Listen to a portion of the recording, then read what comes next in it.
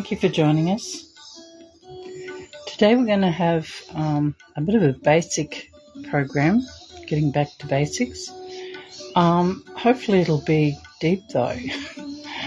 um, so, we'll have a guided meditation for the heart, and um, then we have a talk which is titled Connection Between the Heart Chakra and the Sahasrara. So before we get started, let's um, collectively namaskar and put ourselves into bandhan.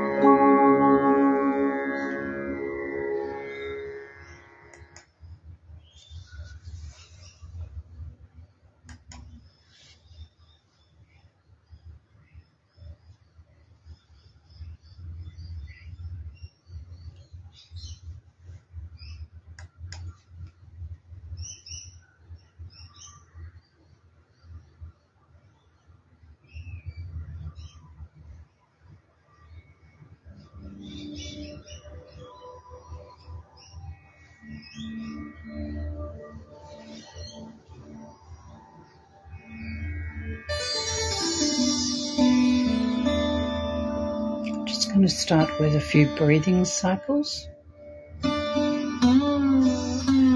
So breathing in nice and slowly. Holding the breath and releasing the breath, breath very slowly.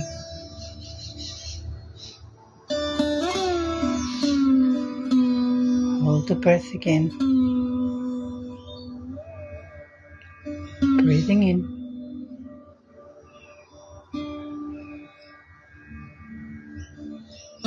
Hold the breath.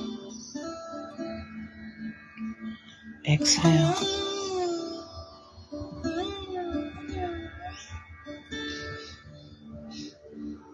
Hold the breath again. Breathing in.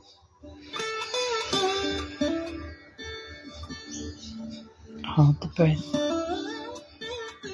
And then release the breath to breathe normal.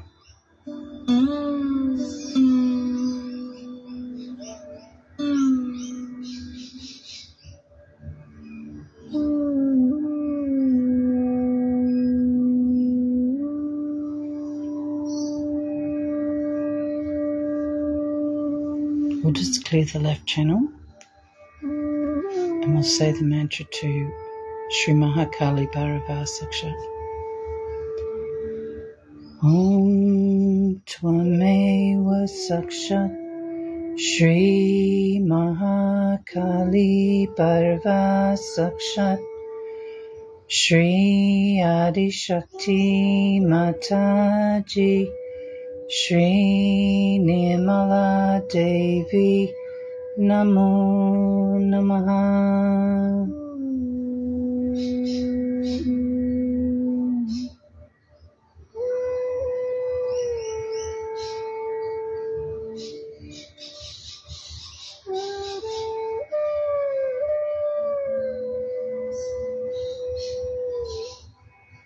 Mother, please clear all the negativity from the left side.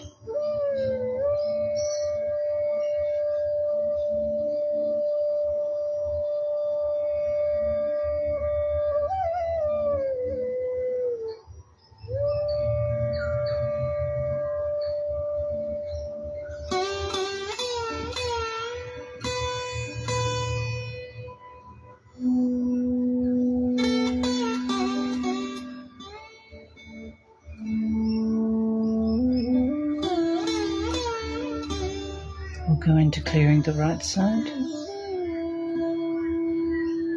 And say the mantra to Sri Mahasaraswati Hanumana Sakshat. Om Tvameva Sakshat Shri Mahasaraswati Hanumana Sakshat Shri Adi Shakti Mataji Shri Nirmala Devi Namo Namaha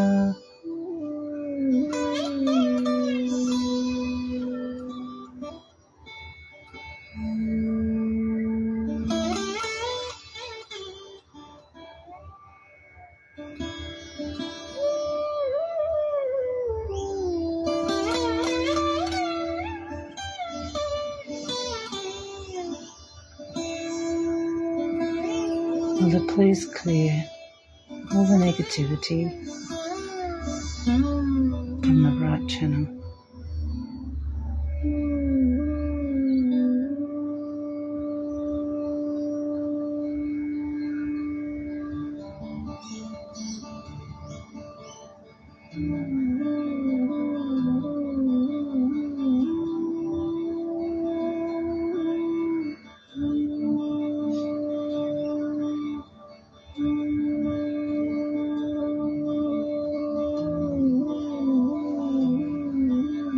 And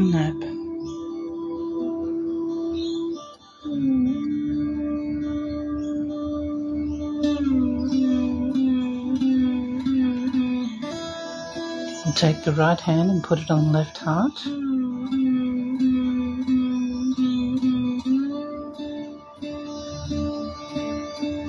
Mother, by your grace, I am the Spirit.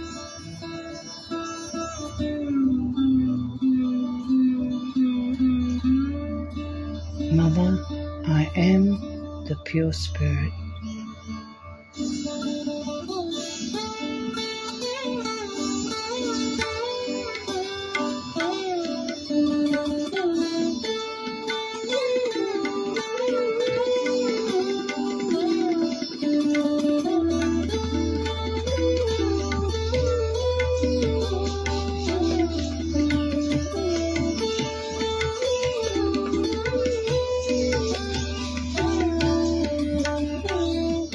Left hand on the right heart.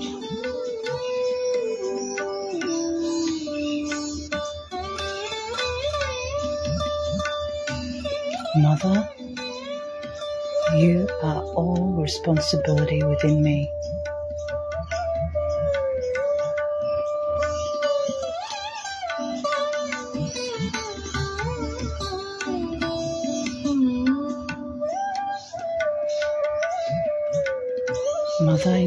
The boundaries of good conduct and the benevolence of a good Father within me.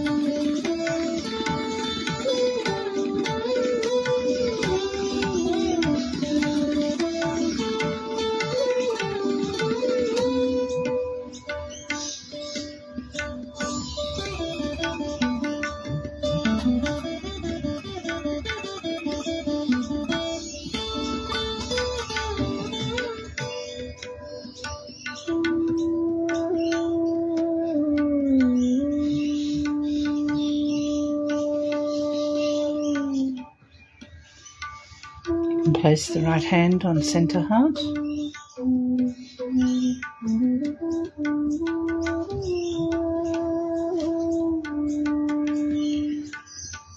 Mother Kundalini, by your grace, please make me a confident and fearless person.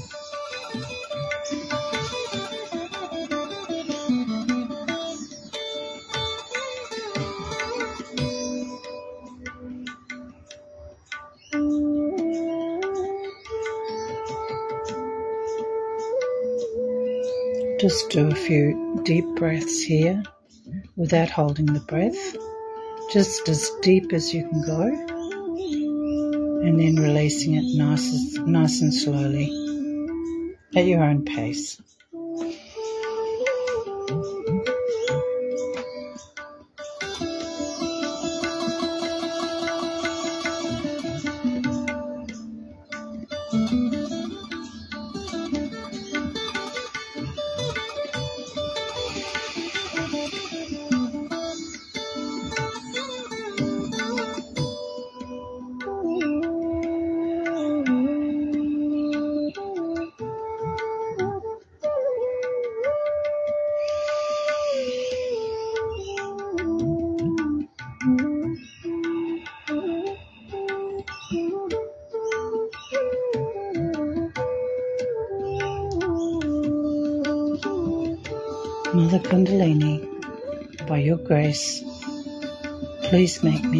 Confident and fearless person.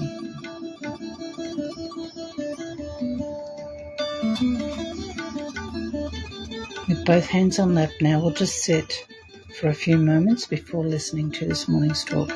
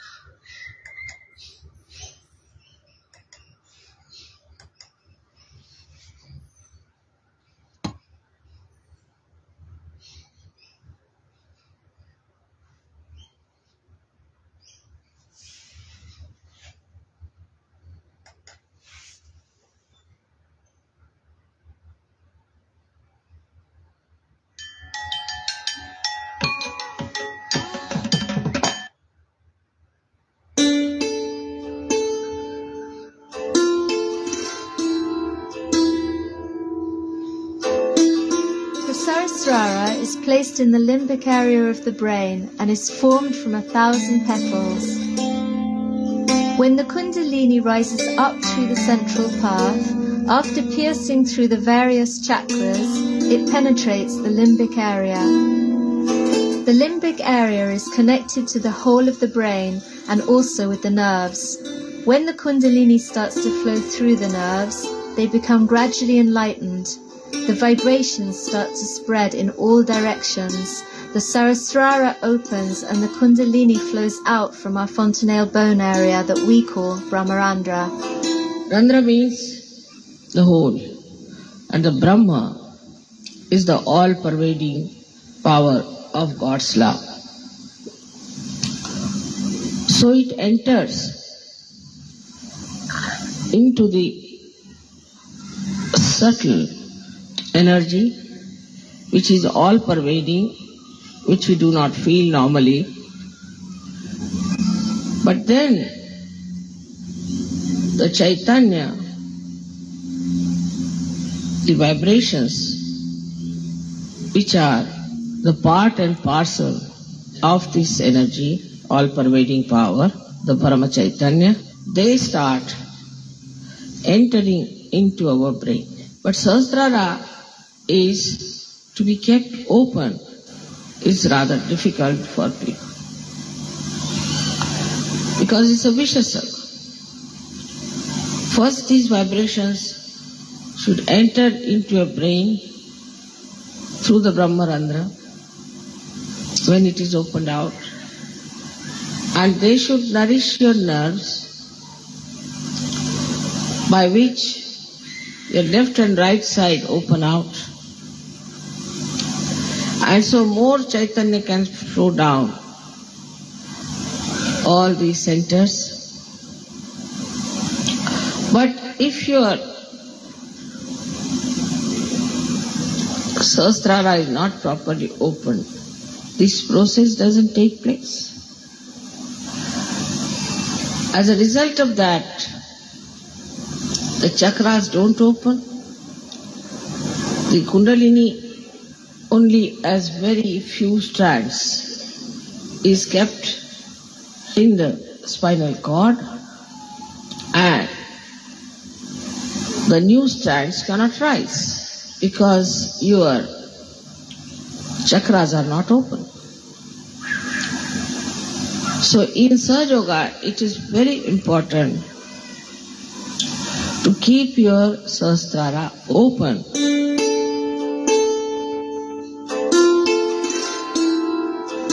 A particular connection between the heart chakra and the Sahasrara. Already the heart is surrounded by seven auras of the seven chakras. And the spirit, the Atma, resides in the heart. As it is on top of your head here, resides the God Almighty Sadashiva. So when Kundalini touches that point, your spirit gets awakened and the light of the spirit starts spreading. And it starts acting on your central nervous system because automatically the vibrations, the Chaitanya flow into your brain who enlighten your nerves. But still, the recognition on the heart is not there. Even without that, you start feeling the cool breeze, you can raise the kundalini of others, you can cure people, you can do many things. But still, it is not yet felt in the heart so much. That's why we have music, art. All these things start opening your heart. But to go deep down into your heart, what should we do? People tell. Mother, how should we get into our heart? How this mental activity can be performed through the heart. Now you must remember that heart is absolutely connected with brain. Absolutely connected. It's not disconnected thing. If it was, it would not have worked. When heart fails, after some time, brain also fails. The whole body goes out of order. So this mental activity of the heart is to be understood this way that as soon as you see the danger, without even thinking in a reflex way, your heart starts pumping more blood and you get palpitation. You don't have to think, there's no mental activity. Just you see, supposing a tiger standing before you, immediately the heart will start pumping.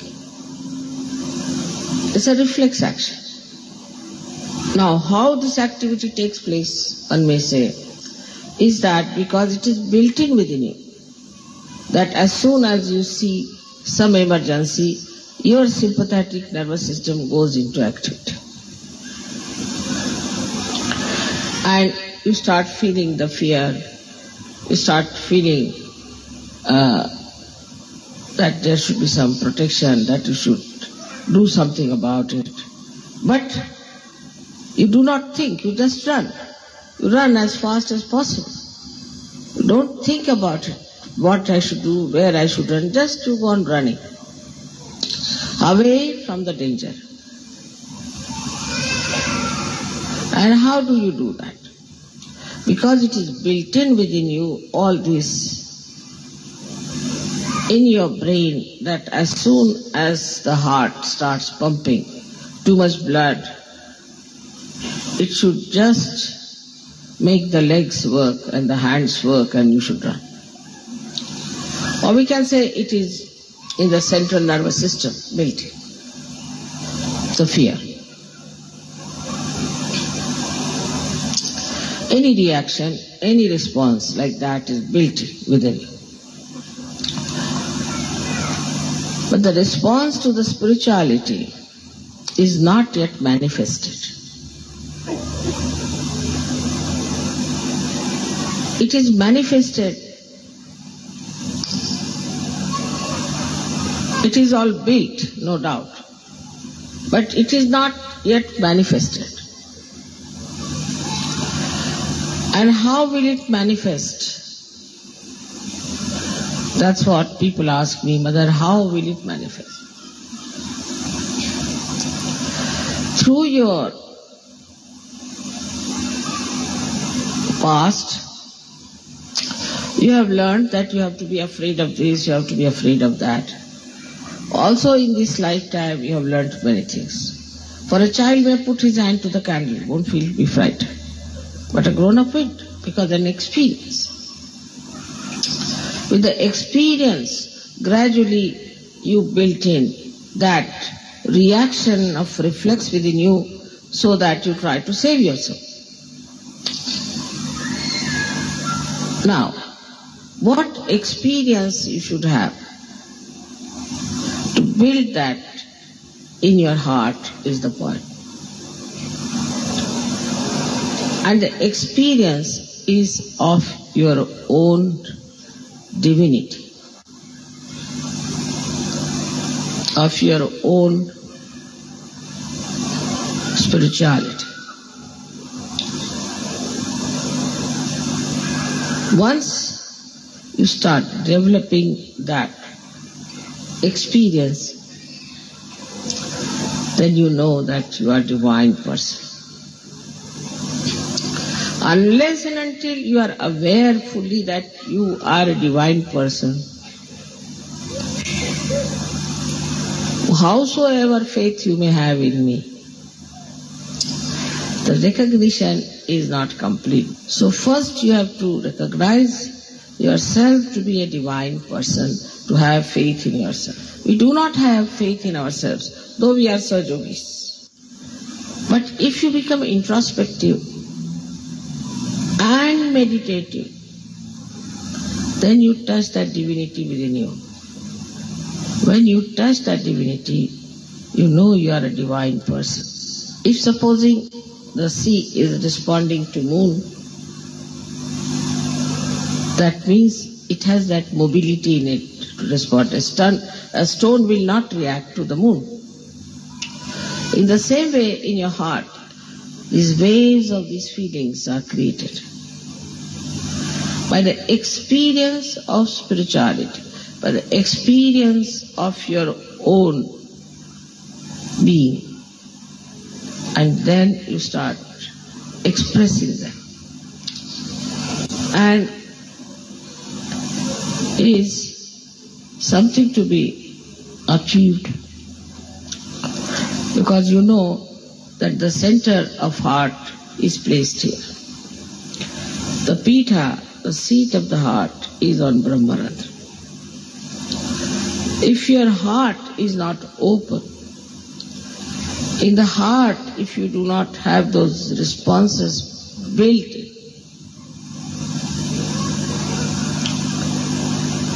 they need not be of awe or fear, but a natural protocol that develops.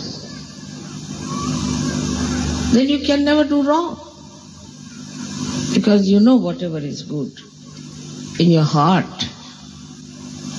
When you are introspecting, then this depth moves further, but more through meditation. That's why I always tell you that please get up in the morning, do your meditation, and get up in the evening and do your meditation. At least before going to bed, you should get to it.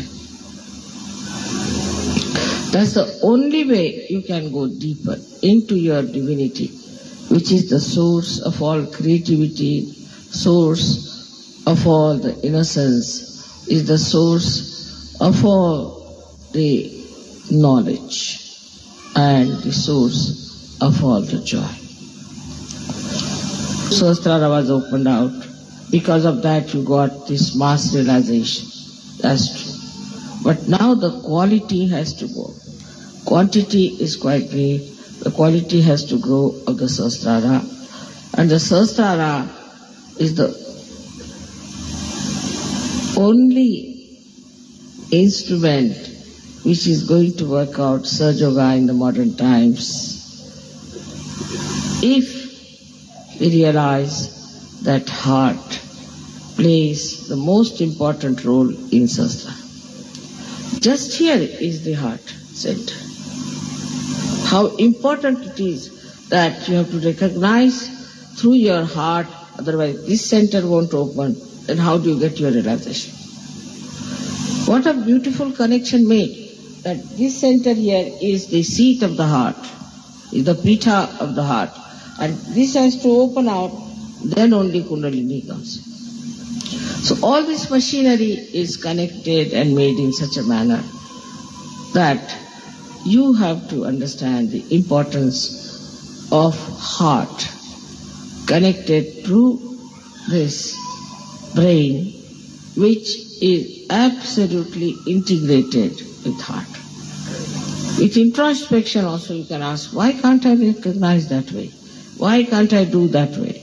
What is my interest? Now if you come to Yoga for making uh, some sort of a power game, you want to have a power, you are finished. You want to have money or some sort of a business, you are finished. Anything else you try, like making something for your children or for your marriage or family or any such outward things if you come to Sahaja Yoga, this won't work. But just to expand your heart, to spread your love to everyone, to feel their love within your heart, and then to put yourself into a position when it responds, the heart responds to divinity within you and to your mother with full mental activity of the heart. Today's subject may sound rather difficult for you to understand, but I had to say this one day because we are quite satisfied with a little of the Kundalini coming out of her head. There's so much to come out, so much divinity is there which has to come out. And if you have to ascend, and if you are the foundation of that new age which is going to transform the whole world, we'll have to work hard. May God bless you.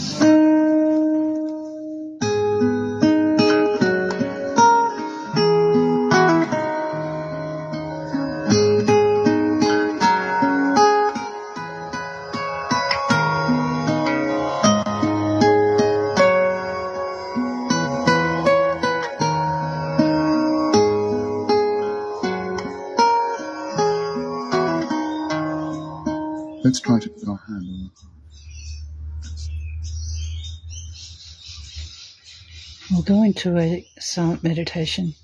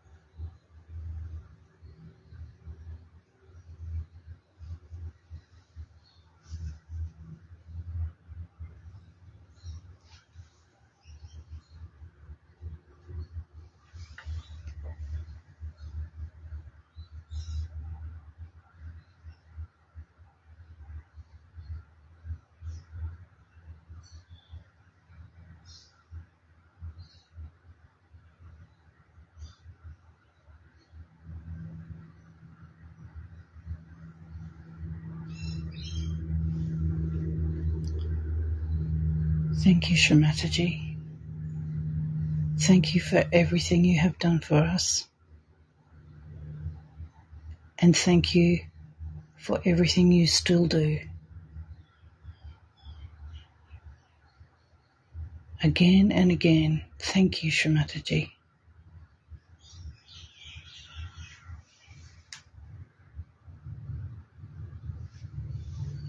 We'll say the last verse of the three great mantras.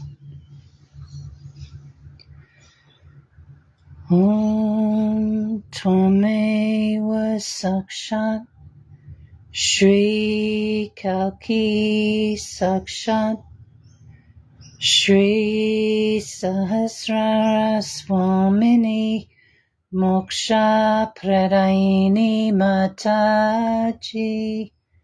Shri Nirmala Devi Namo Namaha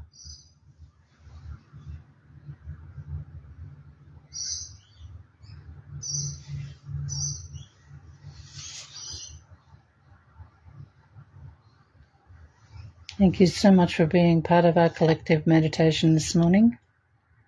It's always a great way to start the day. When you're ready to finish your meditation, please remember to bow down in front of Shri Mataji, raise your Kundalini and put yourself into Bandhan. Wishing you all a wonderful day. Jai Shri Mataji.